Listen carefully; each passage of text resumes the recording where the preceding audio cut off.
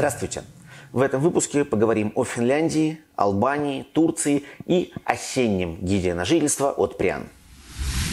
Начну с реплики в связи с громкой новостью из сферы зарубежной недвижимости. Настолько громкой, что из-за политического подтекста ее растиражировали даже государственные СМИ. В Финляндии задумались об изъятии собственности, за содержание которой перестали платить. У нас это известие, конечно же, трансформировалось в совсем жуткое. У россиян якобы будут отнимать недвижимость. В чем, собственно, суть? В Финляндии действительно участились случаи неуплаты коммунальных услуг и, очевидно, ежегодных налогов со стороны граждан России. Цифры не называются и не думаю, кстати, что они очень уж значительные. Ведь нашим соотечественникам принадлежат в сумме всего около трех тысяч объектов. Так что уверен, большинство, даже испытывая всем известные проблемы с въездом в ЕС, способ вносить нужные суммы или уже нашел, или находит в настоящее время. Но понятно, что тема эта в целом горячая, нервная, деликатная, что со стороны России, что, кстати, и со стороны Финляндии. Тут даже 5-10 историй могут вызвать, если не скандал, то резонанс и стать, соответственно, руководством к действию. То есть в данном случае к публикации в официальных финских СМИ. Ну а теперь по сути. В Финляндии, как и в любой другой стране, если собственник продолжительное время накапливает долги, к нему применят санкции. Самые суровые из которых это действительно изъятие недвижимости. Но, во-первых, происходит это в цивилизованном мире по приговору суда. Во-вторых, после тщательных поисков иных решений. Ну и в-третьих, процесс этот в любом случае не быстрый. Сейчас финская сторона пытается решить ключевой вопрос, а как связываться с задолжавшим собственником? Ведь важно, чтобы все было по закону, то есть официально. Почтовая связь между нашими странами предельно затруднена.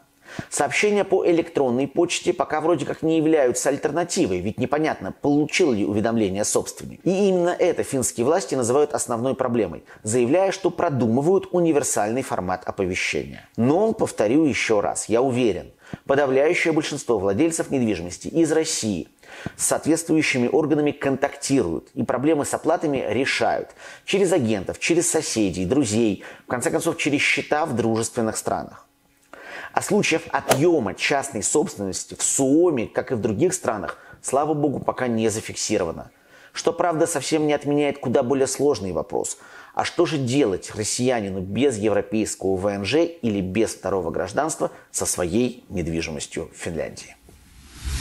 Мы редко говорим об Албании, но вот теперь появился повод. Банк страны опубликовал отчет о ситуации на рынке недвижимости в первом полугодии. Главное, средняя цена сделки выросла за полгода на 12%, но вот за год она почти не изменилась.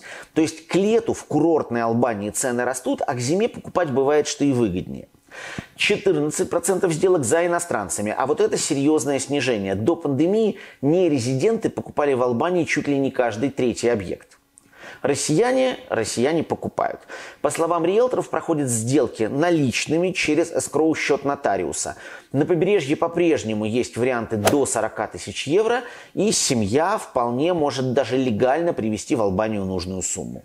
Но более популярна оплата через счета в банках дружественных стран. По ссылке к сюжету «Объекты в Албании». Набирает обороты история о возможных изменениях в правилах сдачи недвижимости в краткосрочную аренду в Турции. Месяц назад мы уже рассказывали о том, что ательеры Алании, недовольные конкуренцией со стороны иностранцев и в первую очередь россиян, покупающих десятки тысяч квартир для сдачи в аренду, хотят поднять этот вопрос прямо-таки на государственном уровне. Так они и сделали. Сейчас проблема обсуждается в Национальном собрании Турции. Еще раз подчеркну, главное слово здесь «обсуждается». То есть никаких решений еще не принято. Но можно с достаточно большой долей вероятности прогнозировать, что ужесточения все-таки будут. С 2017 года для сдачи недвижимости на короткий срок в Турции надо открывать юридическое лицо. Но для тех, у кого в собственности не одна и не две квартиры, это не проблема. С учетом спроса в последние годы выгода все равно была и есть. Но вот какие меры сейчас обсуждают депутаты.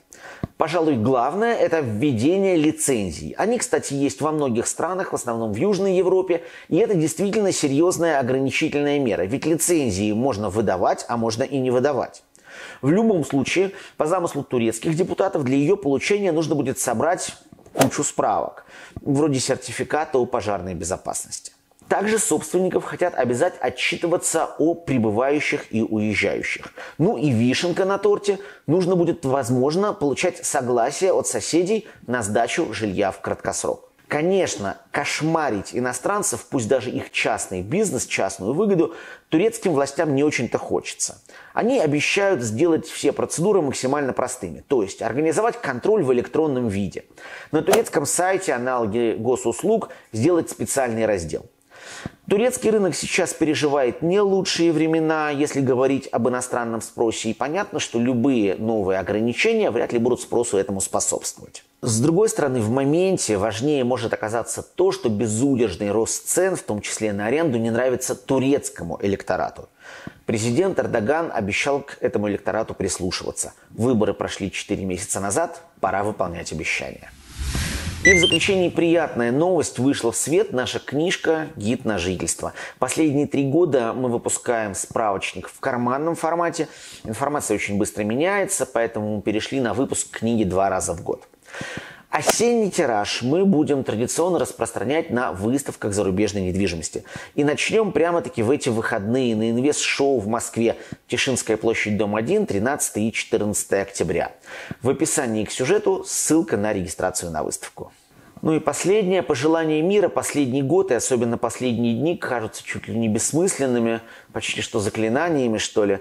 Но тем не менее, давайте стараться этот мир приближать. Подумайте, как вы можете помочь тем, кому сейчас нелегко, и обязательно берегите себя и своих близких. До встречи. Следующий выпуск новостей выйдет через две недели. Пока.